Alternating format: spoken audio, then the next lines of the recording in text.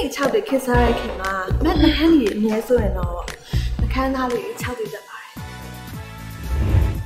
Wow ဒါကြောင့်ကျမ်းမာပြီးအသေးရလောင်လှပါတယ် Bella ရဲ့ Left Lip Sugar Scrub ကိုခွေးမြဲဆောင်ထားပါအာဒီဇလန်တွဲမှာကကျွန်တော်ကဟိုဒီဒီဇလန်တွဲကဟိုကျွန်တော်စပြီးဆရာ ကိုမျိုးကိုမျိုးကိုမျိုးပေါ့နော်ကိုမျိုးကိုမျိုးကနေစပြီးကျွန်တော်ဟိုဒီဇက်လေးပေးပြီးတော့ကျွန်တော်ကန်လန်းတာပေါ့နော်ကန်လန်းတော့ဇက်လေးကလည်းတော်တော်သဘောကျဖို့ကောင်းတယ်ဟိုတကယ်ချင်း၄ယောက်ဇက်လေးတကယ်ချင်း၄ယောက်မှာမှကျွန်တော်ကကြပြာကိုကြပြာရေးတာဝါသနာပါတယ်လာရအောင်ပေါ့အဲလာရအောင်အနေနဲ့ကျွန်တော်သိဆောင်မှာဖြစ်ပါတယ်အဲ့ထဲမှာကျွန်တော်တို့ဒီရှက်ဖိုးထဲမှာเนาะဟိုဒီရှက်ဖိုးမှာ ဒီလေးယောက်ကအလုံးကအရက်သမားတွေပေါ့အရက်သမားတွေဆိုတာသူကဟိုတငယ်ချင်းတွေလို့ညကြလို့ရှိရင် မမလုပ်စရာမရှိတော့ကျွန်တော်ဒီအရက်ဆိုင်မှာပေါ့နော်ပွင့်ရဲ့အရက်ဆိုင်မှာကျွန်တော်တော်တော်ပြီးအရက်တော်တော်တောက်ကြတာပေါ့တော်တော်တောက်ပြီးကျွန်တော်တို့တွေကအဲ့ကျွန်တော်ရှီရေးတိုင်းမကြဘယ်လိုကျွန်တော်တို့ရှီဘယ်လိုရှီဆက်မလဲပေါ့နော်ပြီးတော့ကျွန်တော်တို့ကလူတွေကိုကူညီချင်တာငါတို့တွေဘယ်လိုဒီရက်ွက်ကိုငါတို့ဘယ်လိုကူညီကောင်းမလဲပေါ့အဲ့လိုဟုတ်ကဲ့ပြင်ဆင်မှုကတော့ကျွန်တော်ကဒီကျွန်တော်ရဲ့ character အနေနဲ့ကတိတ်ပြီးတော့များများစားပြင်ဆင်ကြမရှိပါဘူးဒါပေမဲ့ပြင်ဆင်တာတစ်ခုကတော့ကျွန်တော်တို့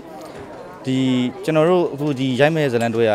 ဒီ setting နဲ့စပြီးတော့ရိုက်မဲ့ဇလန်တွေဖြစ်တာပေါ့နော် setting နဲ့ရိုက်မဲ့ဟာဆိုတော့ကျွန်တော်တို့အတွက်က setting ဆိုတာအဲ့လို setting နဲ့မယ်ဆိုတော့အတွေ့အကြုံကအစ်စ်ပဲလေကင်မရာ angle တွေဘာရအစားကျွန်တော်မီးတွေဘာရအစားတေးချဒီ intro နဲ့ outro ကိုကျွန်တော်မျှအောင်ပေါ့ပြန်ပြီးတော့ adjust လုပ်ရတာမျိုးလည်းရှိတယ်နောက်တော့အဲ့ဒါကြောင့်မို့ကျွန်တော်လည်းဒီ setting နဲ့ရိုက်တဲ့ဒီနိုင်ဂျာ series ပေါ့နော် friends ဆိုတဲ့ series ကိုလည်းကျွန်တော်ကြည့်တယ်အဲ့ဒီအဲ့ friends ဆိုတဲ့ series ကလည်းအရင်ကြီးရတယ်ဟိုဒီတငယ်ချင်းတွေဇက်ပဲပေါ့အဲ့တော့ဘာပြောအချန်လေးလည်းကိုလည်းအချန်ရပါပေါ့တည်ဆောင်လို့ရှိရင် item လေးပါကြီးဟုတ်ကဲ့ ကျွန်တော်ကတော့ဘယ်လိုပြောမလဲဒီ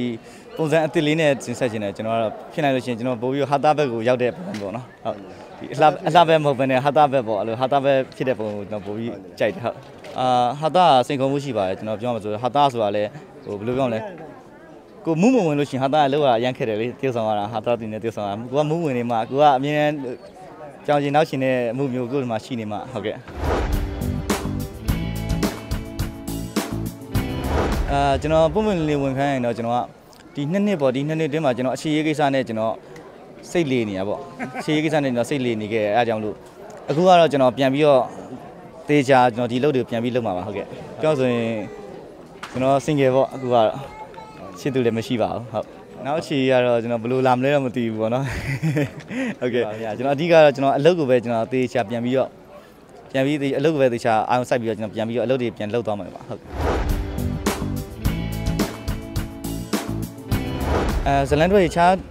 ကန်လန်ထားတဲ့ဟာတွေလည်းရှိပါတယ်ဒါပေမဲ့တိတ်ကမသေးကြသေးဘူးပေါ့မသေးကြသေးရဲ့အခြေအနေဖြစ်နေနောက်တော့ကျွန်တော်ရဲ့ဒုတိယ series ပေါ့ကျွန်တော်ဒုတိယ series က